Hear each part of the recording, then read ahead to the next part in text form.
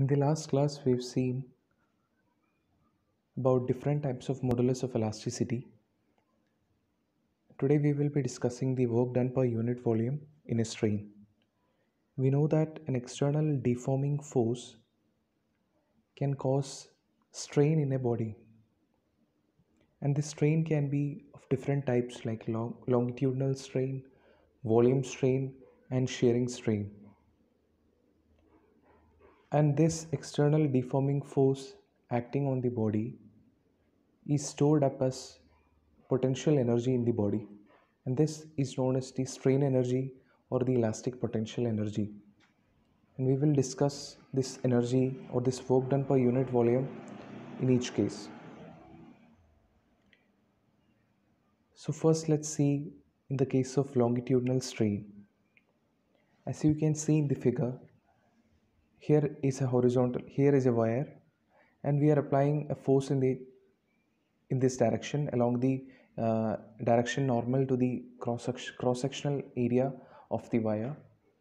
And when we apply the force there is an there is a stretch happening and this stretch causes an additional length small l in the wire.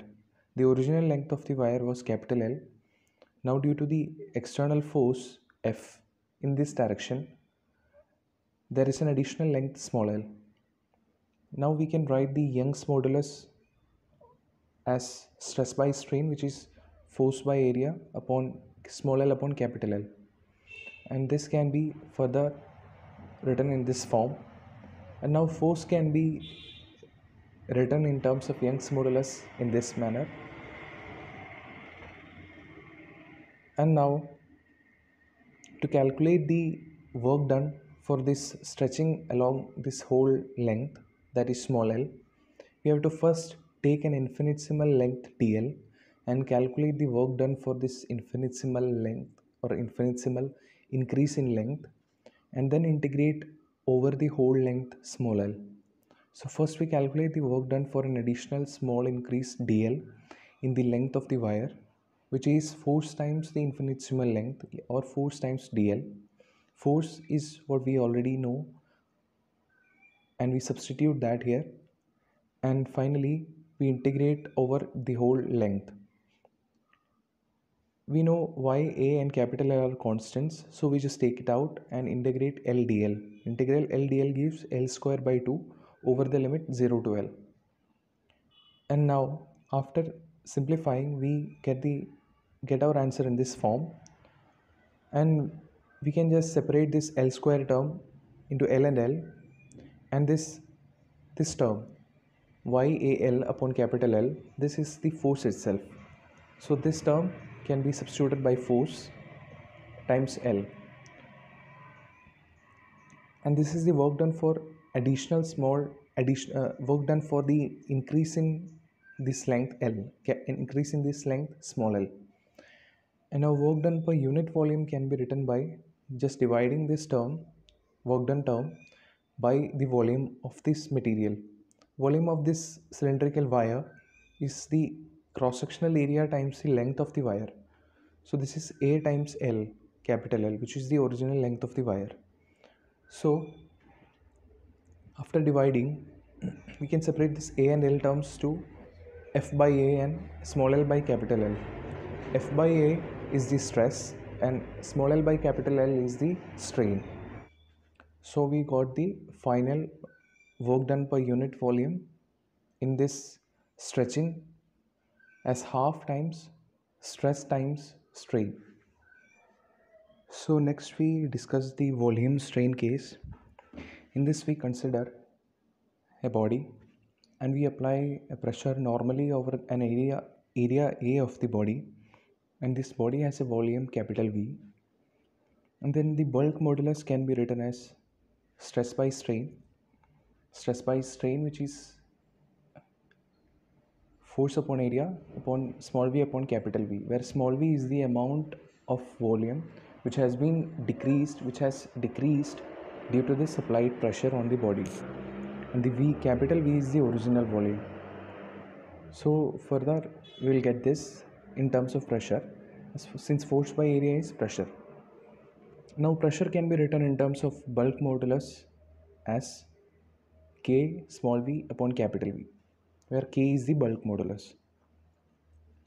Now work done for an infinitesimal increase.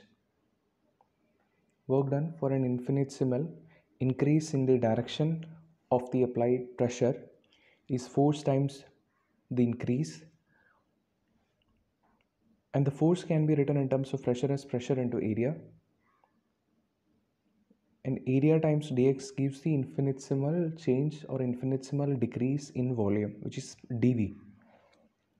And to get the whole the work done in the whole range we just multiply integrate the work done over 0 to small v. And integrating this after substituting the value of pressure k small v upon capital V and k upon capital V are constants so we take it, take them out. Integrating V dV gives V square upon 2 over the limit 0 to small v. Finally we get half k upon capital V times small v square.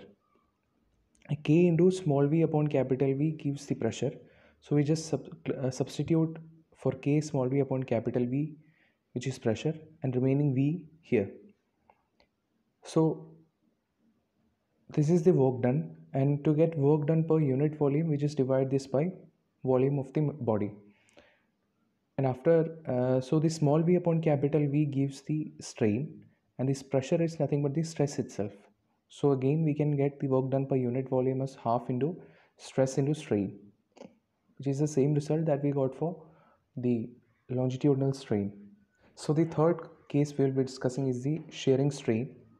This we consider a cube and the cube base of the cube is fixed.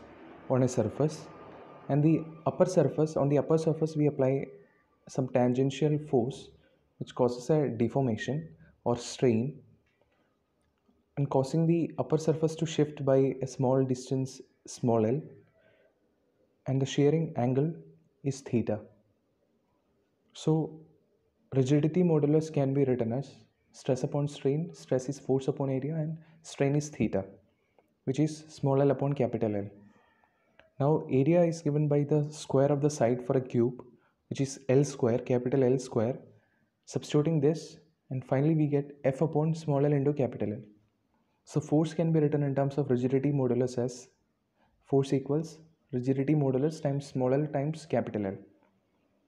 Now work done for an infinitesimal displacement of this upper surface is given by force times this displacement and force can be substituted from here. And again similar fashion we integrate from 0 to the whole range of strain which is small l. Finally we get half eta capital L small l square where half where eta capital L small l gives the force. So just substituting this value here half force times the remaining L. And work done per unit volume can be calculated by again substituting the again dividing the whole term of work done by the volume of the material which is cube and the volume will be L cube. L cube is divided here. And finally we get F upon L square as stress and small l upon capital L as strain. So finally half into stress into strain. So for all the three cases of longitudinal strain volume strain and shearing strain we get the same value of work done per unit volume which is stored in the body